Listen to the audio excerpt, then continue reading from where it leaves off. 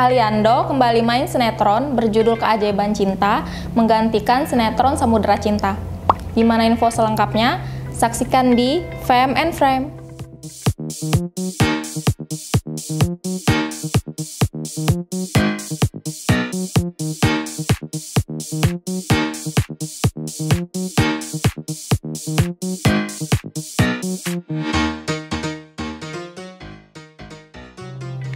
Halo, balik lagi sama aku Nana.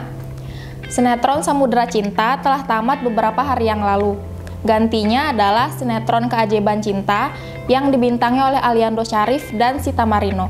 Aliando pernah sukses dengan sinetron Ganteng-Ganteng Serigala dan Siapa Takut Jatuh Cinta. Kini, setelah vakum hampir lima tahun di dunia sinetron, Aliando Syarif kembali muncul dengan sinetron terbaru berjudul Keajaiban Cinta.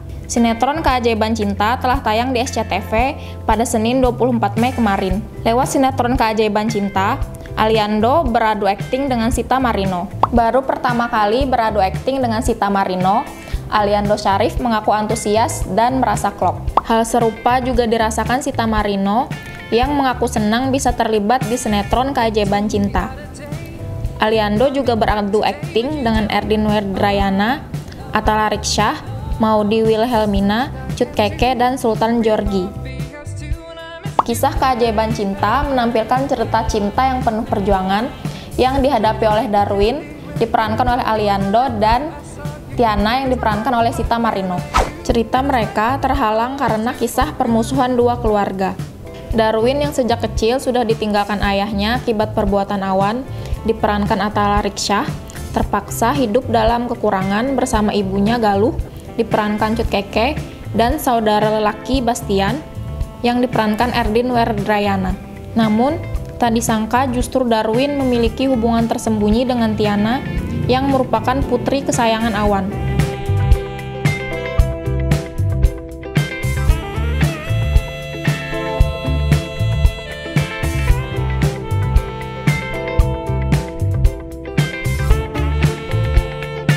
Nah, jika ingin tahu cerita selengkapnya, bisa tonton di SCTV ya. Saksikan terus program Fame and Frame di kanal YouTube Banjarmasin Post News Video. Jangan lupa like, comment, share, and subscribe channel YouTube kami. Dadah!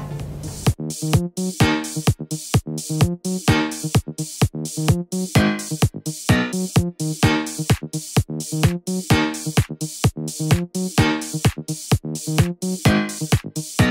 you.